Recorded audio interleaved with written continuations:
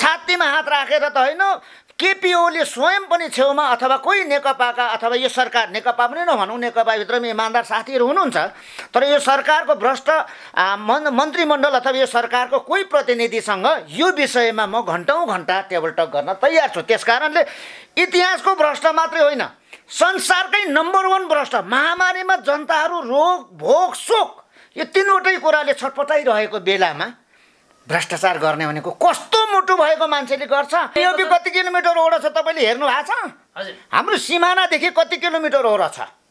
जुन बिओपी भनेर अहिलेको सरकारले धेरै गफ गरिरहेछ नि सिमानामा लगेर बिओपी राखोस् न। हाम्रो दाजुभाइहरू लड्न तयार छन् नि त। हाम्रो नेपाल आर्मी हाम्रो सशस्त्र प्रहरी हाम्रो नेपाल प्रहरी पनि कम पावरको छैन। अमेरिकी साम्राज्यवादको विरुद्धमा भारतीय विस्तारवादको विरुद्धमा उनीहरूको नारै त्यति। कम्युनिस्ट कम्युनिजममा प्रपोगन्डा मचाउने नारा ल्याउने नयाँ नयाँ शब्दहरू गर्ने बाहेक अर्को उनीहरूको हुँदैन।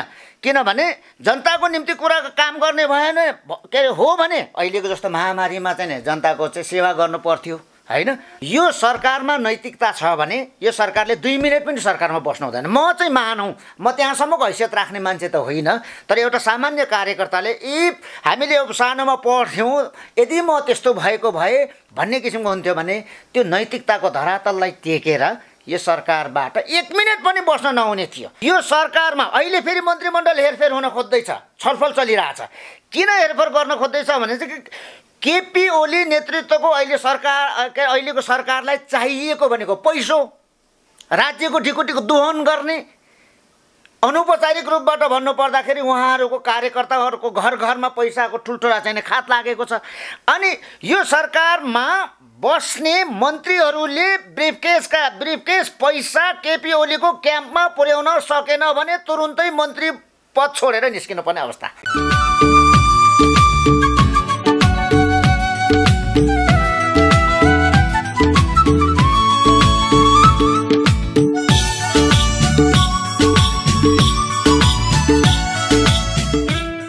दर्शक नमस्कार अनि हार्दिक स्वागत छ। म तपाईँको अनुप लिम्बू उपस्थित भइसकेको छु र आज पनि तपाईँहरू माझ एकजना विशेष अतिथि लिएर उपस्थित भएको छु। विशेष गरी समसामयिक अनि राजनैतिक विषयवस्तुमा कुराकानी गर्नका लागि पाँच नेपाली काङ्ग्रेस पाँचथर जिल्ला सभापति नरेन्द्र कुमार केरुङसँग विशेष कुराकानी गर्दैछु। देशको पछिल्लो समय विकसित घटनाक्रम र राजनीतिक अवस्थालाई हामी विश्लेषण गर्नेछौँ।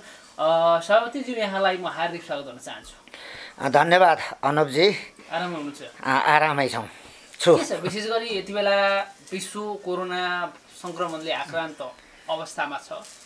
यस्तो देशैभरि अहिले विश्वमा जसरी नेपालमा पनि कोरोना सङ्क्रमण नियन्त्रण बाहिर जाने निश्चित भएको छ निश्चित जस्तै देखिएको छ किनभने दिन प्रतिदिन हजारौँ सङ्ख्यामा कोरोना सङ्क्रमितहरू थपिँदै गएको छ। के छ अहिलेको पछिल्लो अवस्था पाँचथर जिल्लाको समग्रमा र देशको जुन कोरोना सङ्क्रमणलाई लिएर के भन्नुहुन्छ तपाईँ? अ, यो अत्यन्तै चाहिँ नि महामारीको अवस्थामा हामी गुज्रिरहेको अवस्था छ। र विश्वभरि नै यो एउटा महामारीको रूपमा रहँदाखेरि हाम्रो पाँचथर जिल्ला हाम्रो मुलुक अछुतो रहने विषयवस्तु पनि रहेन। तर अहिलेको अवस्थामा पा नेपाली जनता जो हामी छौँ हामी नेपाली जनताहरू आफै अलिकति सभ्य पनि छौँ सिभिलाइज छौँ। यस कारणले गर्दाखेरि हामीले आफ्नै तरिकाले बाँच्न सक्यौँ हामीले बच्यौँ होइन? र यो टेलिभिजन हेरेर बस्नुहुने यो मिडिया हेरेर बस्नुहुने आदरणीय दाजुभाइ दिदी बहिनीहरूलाई म के अनुरोध पनि गर्न चाहन्छु भने आफै बाँचौँ है। यो कसैको भर पर्ने अवस्था रहेन। अब माथि सङ्घीय सरकारको कुरा गरौँ भने सङ्घीय सरकार यही कोरोना महामारीलाई बाहना बनाएर त्यहाँबाट दुई चार पैसा गोजीमा राख्न सकिन्छ कि भनेर उहाँहरू त्यतै लिप्त। प्रदेश सरकार सरकार त कुहिरोमा हराएको काग जस्तो भइरहेछ। अनि तपाईँको स्थानीय सरकार स्थानीय प्रतिनिधिहरू जे हुनुहुन्छ उहाँहरू खटिराख्नु भएको छ। स्थानीय प्रशासन सुरक्षा कर्मीहरू अनि स्वास्थ्य कर्मीहरू जो फ्रन्ट लाइनमा खटिराख्नु भएको छ उहाँहरूलाई म सबैभन्दा पहिले यो महामारी भन्ने बित्तिकै सदैव सम्मान गर्ने गर्दछु कि फ्रन्ट लाइनमा बसेर आफू ठुलो जोखिम आफ्नो जीवनकै जोखिम मोलेर जनताहरूको निम्ति यो महामारीको विरुद्धमा लडाइँको सारथीको रूपमा उहाँहरू खटिराख्नु भएको छ। विशेष गरेर नम्बर वानमा स्वास्थ्य कर्मीहरू नम्बर दुईमा जनप्रतिनिधिहरू नम्बर तिनमा सुरक्षा कर्मीहरू स्थानीय प्रशासन र आम हामी पब्लिक जो छौँ हामी आफैले आफ्नै निम्ति उहाँहरूले जो सारथी माथि एउटा लडाइँ हाँकिराख्नु भएको छ महामारी विरुद्धको हो त्यसमा हामीले साथ दिइरहेका छौँ। र हामी सभ्य भएकै कारणले अहिलेको अवस्था यो आएको हो। सरकारबाट केही हुन सकेको छैन। अब सरकारले नेताजी मैले तपाईँलाई यही रोकेँ कि सरकारले कोरोना विरुद्धको लडाइँमा हन्ड्रेड पर्सेन्ट सफल भएका छौँ भनेर नेकपाको दुई तिहाईको सरकारले चाहिँ दावी गरिरहेको अवस्था छ नि। यो सरकार कोरोना कतिको सफल छ यो यो सरकारले जतिसुकै दाबी गरे पनि हामी एक्काइसौँ शताब्दीका सूचना प्रविधिले युक्त भएका नागरिकहरू। हौँ यस कारणले सरकारले जे जे भने तापनि सरकारले एउटा महत्त्वपूर्ण काम गरेका छ त्यो हो लकडाउन थप्ने निर्णय। लकडाउन थप्ने निर्णय भन्दा फरक रहेर यो सरकारले जनताको निम्ति भनेर जनताको अभिभावकको रूपमा जनताको भरोसा बनेर इमान्दार रूपमा कुनै काम गरेको एउटा मात्रै दृष्टान्त अनुपजीले पेस गर्न सक्नुभयो भने फेरि पनि टेबल टक लम्ब्याउँला। होइन भने यो महामारीलाई भनेर अस्ति चाहिँ नि के अरे स्वास्थ्य सामग्री खरिद गर्ने भनेको अस्ति वैशाखकै कुरा हो। वैशाख चैत वैशाखकै कुरा हो।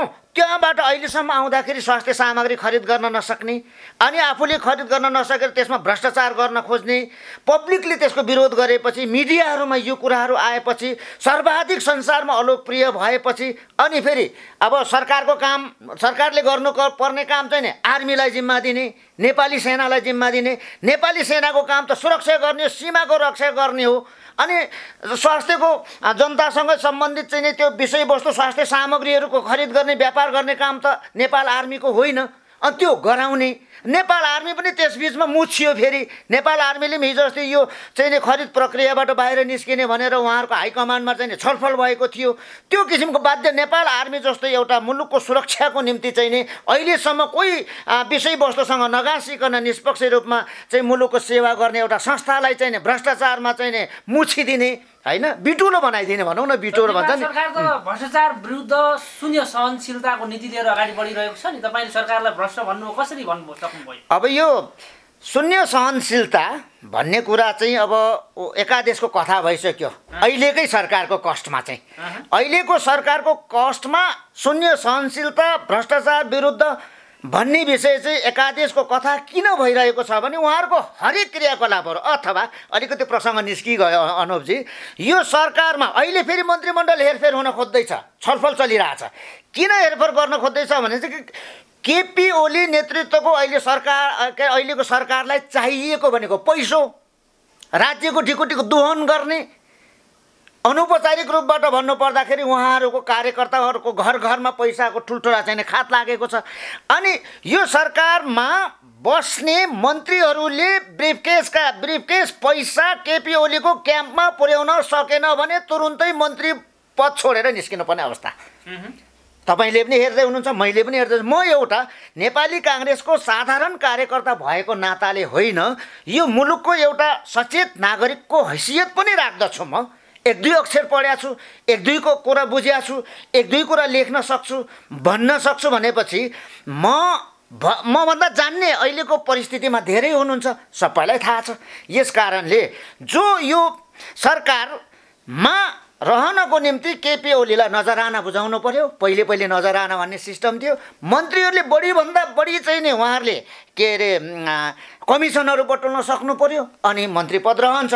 जस्तै अहिलेसम्म शेरबहादुर तामाङ जस्ता निर्दोष मन्त्रीहरू होइन? जस्तै यो मण्डलजी तल चाहिँ नि सामान्य प्रशासन मन्त्री हुनुहुन्थ्यो होइन? उहाँ जस्ता एउटा चाहिँ नि इमान्दार मन्त्रीहरू निस्के त। अनि गोकुल बाँसकोटाहरू बाहिरिए। जनताबाट सामना गर्न नसकेर तिन मान्छे के अरे मान्छेलाई चाहिँ बाहिर निकाल्नु पर्ने स्थिति भयो। अब अहिलेको अवस्थामा पनि नजराना र कमिसन उठाउन नसक्ने मन्त्रीहरू बाहिर निस्किने सम्भावना यहाँ बढेर गएको छ र अहिले मन्त्रीमण्डल चाहिँ छातीमा हात राखेर त होइन केपी ओली स्वयं पनि छेउमा अथवा कोही नेकपाका अथवा यो सरकार नेकपा पनि नभनौँ नेकपाभित्र पनि इमान्दार साथीहरू हुनुहुन्छ तर यो सरकारको भ्रष्ट मन मन्त्रीमण्डल अथवा यो सरकारको कोही प्रतिनिधिसँग यो विषयमा म घन्टौँ घन्टा टेबल टक गर्न तयार छु। त्यस कारणले इतिहासको भ्रष्ट मात्रै होइन संसारकै नम्बर वान भ्रष्ट महामारीमा जनताहरू रोग भोग शोक यो तिनवटै कुराले छटपटाइरहेको बेलामा भ्रष्टाचार गर्ने भनेको कस्तो मुटु भएको मान्छेले गर्छ यो मुलुकमा राष्ट्रिय लागि भनेर कोरोना विरुद्धको लडाइँको लागि भनेर दस अर्ब खर्च गरिसकेका छन्। इतिहासमा तपाईँको सीमामा रहेको जुन विवादलाई लिएर केपी ओली नेतृत्वको सरकारले नयाँ नक्सा पनि जारी गरेको छ। यी राम्रा काम पनि त गरेको छ नि केपी ओलीले होइन? नयाँ नक्सा जारी गर्नु एउटा विषयवस्तु रह्यो। त्यसको म समर्थन पनि गर्छु। तर अब फेरि विषयवस्तु अर्कोतिर गयो है अनुपजी। नयाँ नक्सा जारी गर्नु मात्रै ठुलो कुरा होइन। सीमामा बिओपी। कति किलोमिटर ओडो छ तपाईँले हेर्नु भएको छ? हाम्रो सिमानादेखि कति किलोमिटर ओर छ? जुन बिओपी भनेर अहिलेको सरकारले धेरै गफ गरिरहेछ नि सिमानामा लगेर बिओपी राखोस् न। हाम्रो दाजुभाइहरू लड्न तयार छन् नि त। हाम्रा नेपाल आर्मी हाम्रो सशस्त्र प्रहरी हाम्रो नेपाल प्रहरी पनि कम पावरको छैन। तर त्यो सरकारले पर लानै सक्दैन भने बिओपी जुन ठाउँमा अहिले स्थापित गरेको छ त्यो सदर के अरे पर सिमानाबाट कति किलोमिटर ओरा छ? जस्तै हाम्रो पनि यहाँ मास्टर प्राङ्गुङ माथि सिमाना छ त। हाम्रो ने के अरे नेपाल प्रहरीको उपस्थिति कहाँ छ भन्दाखेरि तल प्राङ्गुङमा छ। चार किलोमिटर पाँच किलोमिटर ओर छ नि त। यो तल प्राङ्गुङमा भएकोले माथि चाहिँ नि सीमाको रक्षा गर्न सक्दछ। मैले त्यो बिओपी स्थापनाको विरोध गरेको होइन तर बिओपी स्थापना गर्दा जनताको आँखामा छारो लाउने गरी हुनु भएन। एघार किलोमिटर एउटा छब्बिस किलोमिटर दुरीमा छ एउटा सीमा रेखाबाट अर्को सीमा रेखाबाट नजिकको दुरीमा रह्यो भने एघार किलोमिटरको दुरीमा छ। अनि एघार किलोमिटर ओरो हुनेले पर चाहिँ नि बाटो खनेको देख्न सक्छ त्यसको प्रति प्रतिवाद गर्न सक्दछ। भनेपछि यो सरकारमा रहेका चाहिँ मन्त्रीदेखि लिएर सुरक्षा नेपाल सरकारका सुरक्षा निकायहरू सीमामा गएर सुरक्षा गर्न सक्दैनन्। सक्दैन कसरी सक्दैन? नरिकाटे म दुईवटा कुरा ग्यारेन्टी भनिदिन्छु। यो केपी ओलीकै नेतृत्वको सरकारले हाम्रो सीमा जो मिचेको छ भारतले हाम्रो ऐतिहासिक दस्तावेजहरूको आधारबाट त्यो अहिले जति पनि चर्चामा रहेको जग्गा त्यो हाम्रा जग्गाहरू हुन्। त्यो जग्गाहरू नक्सामा पास गर्दैमा त केही हुनेवाला छैन। म त माथि तपाईँको चाहिँ नि भनेपछि यो सरकारले मिचिएका भूभागहरू फिर्ता गर्न सक्दैन तपाईँ ठोका म ठोकुवाका साथ किन भन्छु भने सुन्नुहोस्। अहिले बजारमा एउटा नयाँ कुरा आएको छ विषयवस्तु राजनीतिमा। त्यसले मुलुकमा धेरै ठुलो हलचल ल्याउने सम्भावना पनि छ। त्यो बजारमा आएको एउटा नयाँ शब्द छ अहिलेको सरकार चिनिया दलाल हो भनेर। तपाईँ पनि यो सरकारलाई चिने दलालको भन्छु किन भन्दिनँ भने किन भन्छु भने यो सर? सुन्नुहोस् आधारहरू त राजनीतिक रूपबाट आफै बन्दै जान्छन् हेर्नुहोस्। अहिले जति पनि राजनीतिमा आएका कुराहरू जस्तै हाम्रो नेपाली उखान छ हात के अरे हावा नचलिकन पात हल्लिन्न। यो सरकार हिजो अस्ति सङ्कटमा परिसकेको सरकार। यो सरकारको नेतृत्व गर्ने पार्टी सङ्कटमा परिसकेको चाहिँ सरकार। के अरे पार्टी कसले मिलायो? भन्नुको अर्थ मैले यो अहिलेको सरकार र यो सरकारका जुन अब नराम्रो शब्दहरू प्रयोग नगरौँ राजनीतिमा कहिलेकाहीँ चाहिँ अलिकति आवेशमा आएर नराम्रा शब्दहरू पनि प्रयोग गरिन्छ। यो सरकार र सरकारका भिजिलान्तीहरू चिनिया दलाल हुन् किनभने चिनको एउटा सामान्य कर्मचारीले राजनीतिक रूपबाट होइन नि राजनीतिक होइन नि त सामान्य एउटा कर्मचारीले आएर नेपालको नेकपा भन्ने पार्टी मिलाइदिनु पर्ने फुट्न आँटेको पार्टी अनि ढल्न लागेको सरकार बचाइदिनु पर्ने एउटा सामान्य कर्मचारीले सी जिनपिङको कुरै छोडिदिनुहोस् यिनीहरूले सी जिनपिङ त छुन पनि पाउँदैनन्। पहुँचमा पुग्ने यिनीहरूको हैसियत पनि छैन नैतिकता पनि छैन इमान्दारिता पनि केही छैन। तर एउटा सामान्य कर्मचारीले यिनीहरूको पार्टी मिलाउने यिनीहरूको पार्टीलाई संरक्षण गर्ने यिनीहरूको पा सरकार जोगाइदिनु पर्ने पास यही हो। सबैभन्दा ठुलो आधार। त्यस कारणले यो अहिलेको राजनीतिमा जब यो सरकार चिनिया दलाल भयो चिनिया दलाल हुने बित्तिकै अन्तर्राष्ट्रिय सम्बन्धमा विचलन आउँछ खलल आउँछ। असन्तुलन आउँछ। तपाईँहरू जस्तो तपाईँहरू पनि सत्तामा हुँदाखेरि तपाईँहरूलाई पनि भारतीय दलालको सँगै लागेको होइन। भारतीय भारतीय अलिकति म भरे फेरि अब प्रसङ्ग टुट्छ होला अनुपजी।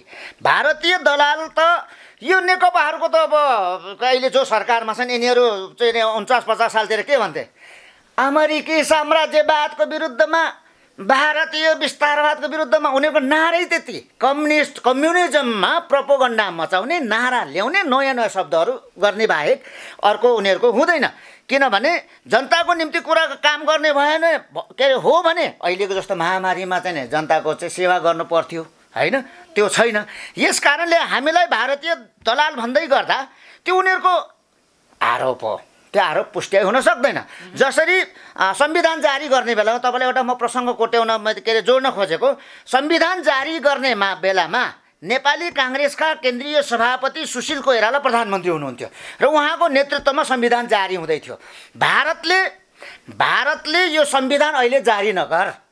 एक दुई दिन त पर्खिदे उहाँको अनुकूलमा हुँदैन होला के होला उहाँहरूको आफ्नो कुरा हो त्यो डिप्लोमेटिक कुराहरू। मैले त्यतातिर पस्न सक्दैन पनि म जान्दिनँ पनि। तर कुरा प्रसङ्ग के हो भने भारतले सुशील कोइराला प्रधानमन्त्रीलाई संविधान एक दुई दिन के अरे जारी नगर न भनेर भारतले प्रेसर गर्दा हो त्यही कारणले गर्दा संविधान टाइममा सुशील कोइरालाले चाहिँ को नेतृत्वको सरकारले अथवा सुशील कोइरालाले नै भनौँ न अगुवाई त उहाँले निर्णय दिने हो जारी गर्ने। भारतले जेसुकै भन्दै गर्यो संविधान हाम्रो हो भनेर संविधान जारी गरेको अवस्था उनीहरूले आरोप लागेको भारतीय दलाललाई यसले पुष्टि गर्छ कि गर्दैन। अर्को कुरा अर्को कुरा त्यही कारणले भारत हाम्रो निकटतम छिमेकी मुलुक हो। हामी भारतसँग पनि उत्तिकै राम्रो सम्बन्ध राख्नुपर्छ चाइनासँग पनि उत्तिकै।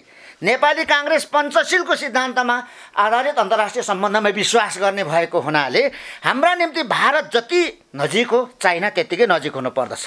होइन? त्यस कारणले नेपालको प्रधानमन्त्री एकजना मात्रै सुशील कोइराला होला जो चाहिँ नेपाली काङ्ग्रेसको सभापति हो र भारतीय विष के अरे जुन एउटा दबावको विरोध गरेको हुँदा भारतको चाहिँ नि जुन हेपाहा प्रवृत्ति त छँदैछ नि त ठुलो छिमेकीले सानो छिमेकीलाई सामान्यतया हो त्यो विरोध गरेको हुँदा भारतले नेपालको मन्त्रीमण्डल अथवा सुशील कोइरालाको सरकार बनेपछि सुशील कोइरालालाई प्रधानको मन्त्रीको रूपबाट भारतीय भ्रमण नगराएको। नेपाली काङ्ग्रेसको सभापति मात्रै हो। नभए प्रचण्ड हेर्नुहोस् केपी ओलीको त कुरै छोड्ने सो त ना यो नाटकीय चाहिँ नि एउटा चाहिँ हास्य पात्र मात्रै हुने। यिनी चाहिँ नि मधेसको लुगा लाएर राष्ट्रियताको कुरा गरेर तल के के अरे मोदीलाई लिन तल जनकपुर पुग्ने भारत नपुगेर भारतीय त्यो चाहिँ पन्जाबको चाहिँ नि फेटा ओढेर चाहिँ ऊ गर्ने राष्ट्रियताको ठुल्ठुला कुरा गर्ने केपी ओलीको कुरै नगरौँ पचासचोटि अब फेरि पनि नरेन्द्र मोदी आउँदैछ भन्ने कुरा छ नेपालमा। फेरि पनि नरेन्द्र मोदी आउँदा कुन तरिकाले लम्पसार पर्छ केपी ओली हामीले त देखेकै छौँ। त्यस कारणले नेपाली काङ्ग्रेसमाथि भारतीय दलाल भन्ने एउटा जुन आरोप लाउने गरेका छन् कम्युनिस्टहरूले यो निराधार हो। बरु उहाँहरूले चाहिँ नि हिजो अस्ति भारतसँगै मिलेर आपसमा मिलोमा मिलिमतो गरेर चाहिँ नि भारतको विरोध गरेर त्यो राष्ट्रियताको चाहिँ एउटा कृत्रिम राष्ट्रियताको खोल ओढेर यो सरकारको नेतृत्व गरे। अहिले आएर भारतलाई पनि राम्ररी देखाइदिए होइन? भन्नुको मतलब के भने भारतको लागि गाली गर्नुपर्छ चाइनालाई समर्थन गर्नुपर्छ चाइनालाई गाली गर्नुपर्छ भारतलाई समर्थन गर्नुपर्छ होइन?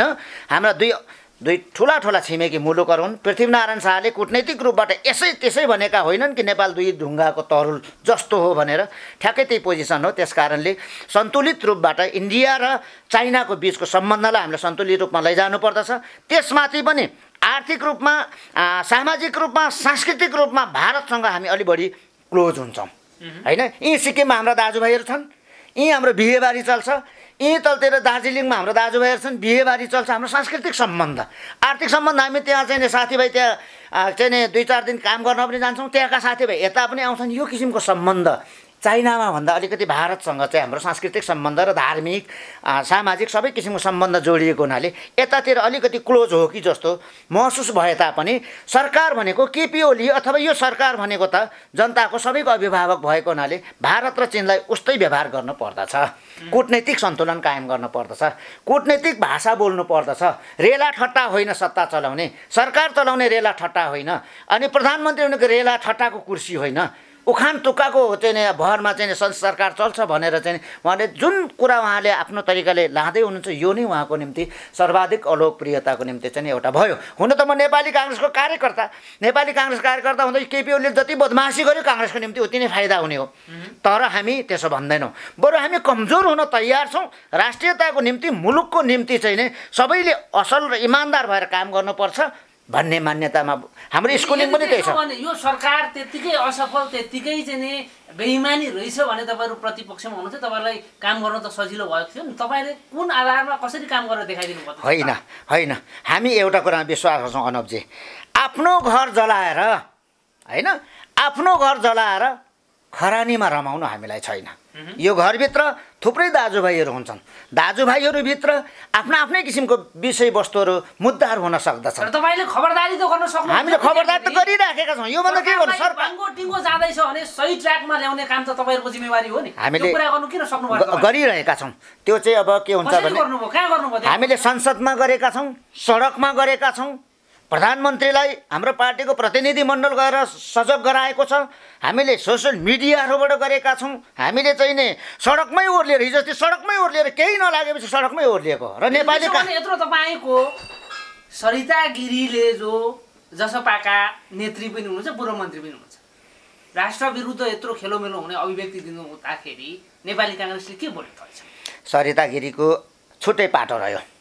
सरिता गिरीले नेपालको संसदमा अथवा नेपालको सरहदभित्र राष्ट्रियता विरोधी कुरा गरेको हो भने उनको पार्टीले कारवाही गर्नुपर्छ। किन सरिता गिरी त अर्कै पार्टीको मान्छे हो। सरिता गिरी यसै यसै एकैछिन अनुपजी एकैछिन सरिता गिरीले गल्ती गरेको दोष नेपाली काङ्ग्रेसले लिन पर्दैन।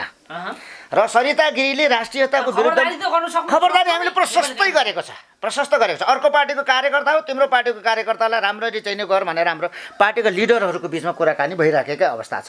माथि संवाद भइराखेकै छ। देशको विरुद्ध गर्यो संसदबाट उनलाई निलम्बन गर्नुपर्थ्यो कि पर्दैन? जनताले यत्रो विरोध गरिरहेका छन्।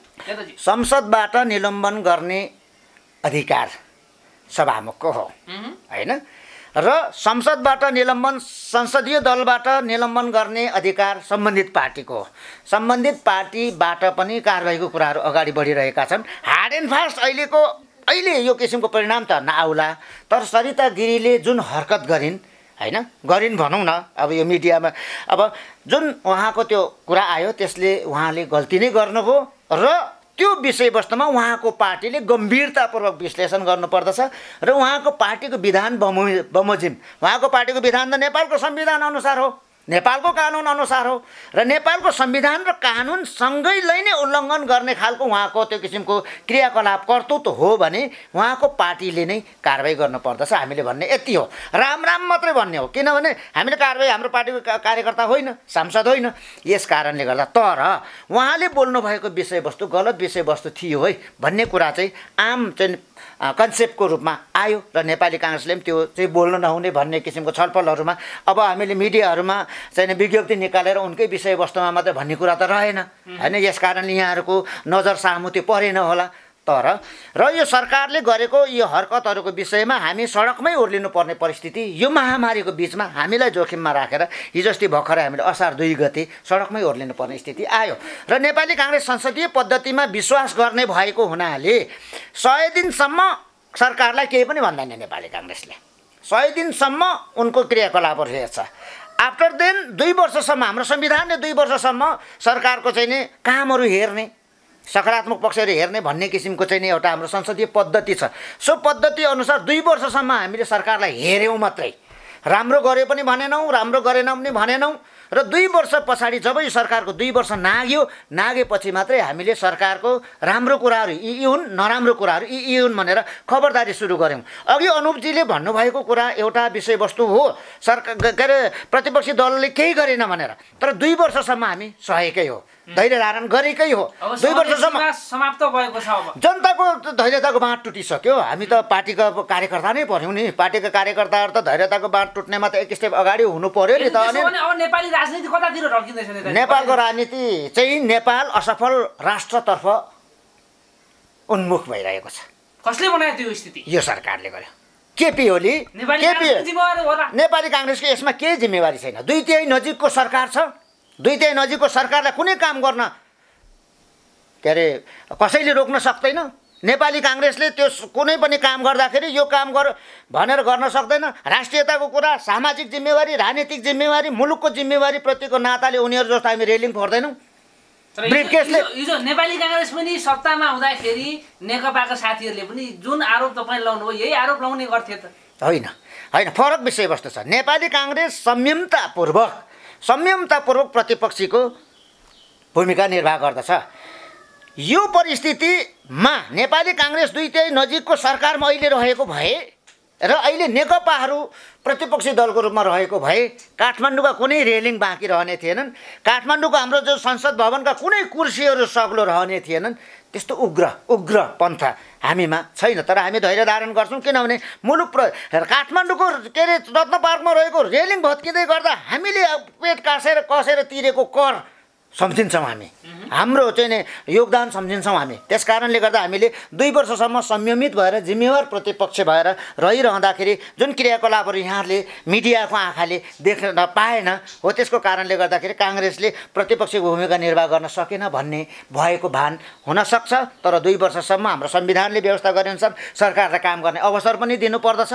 तर अब दुई वर्षसम्ममा पनि जनतालाई आशा र भरोसा दिन नसकेपछि भ्रष्टाचारमै मात्र लिप्त भएपछि अब काङ्ग्रेस चुप्प लागेर बस्दैन। सोही बमोजिम आफ्नो कार्यक्रमहरू अगाडि बढाएको छ।